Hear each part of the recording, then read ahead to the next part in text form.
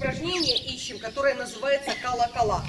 Вы знаете, что каждый колокол звучит только на одной ноте. На одной.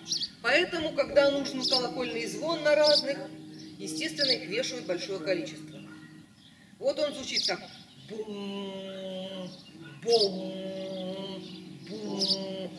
Мы можем с вами протянуть, да? Это же сонорное. Бум, а надо бум. Там, в одном месте. Понятно, да? Второй колокол висит повыше, это ваш средний регистр. Бим, бом. Это тот голос, это та нота, на которой мы обычно разговариваем. Примарный тон. Бом, вот это он и есть. Бом, бим, бом. Все, отлично, понятно. Дин-дон.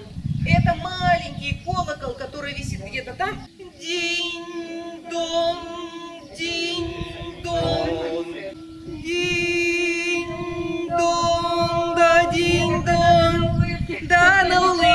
Динь-дон. Кому-то динь-дон проще всего дается, кому-то бум-бум больше всего дается. Пожалуйста, не путайте колокола. Просто не путайте колокола. Их три. В грудном регистре что за гром? Бум-бом-бум-бом. А в среднем гул на целый дом. Бим-бом, бим-бом. В головном чистейший звон. И все звенит, гудит им в тон. Бум-бом-бум-бом. Динь-динь. А ну попробуйте сделать как колокольчик. Динь-дон. И рукой делайте. Помогайте себе рукой.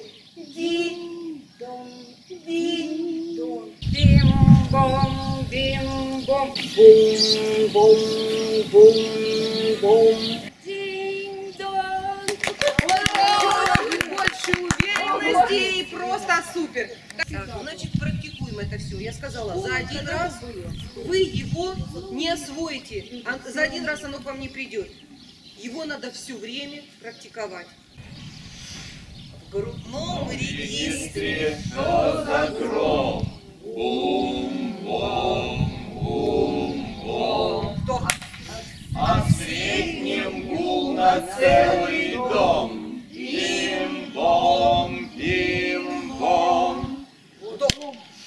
Вот в головном, чистейший звон. Динь-дон, динь-дон.